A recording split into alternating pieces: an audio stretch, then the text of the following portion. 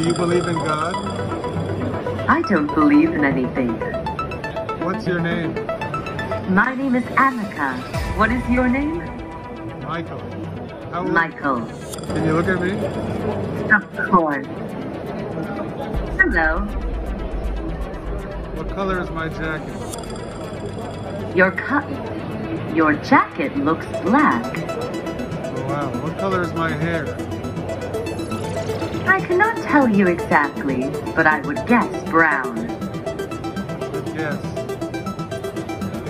Thank Am I, you. am, am I wearing a watch? Yes. My cameras detect a watch.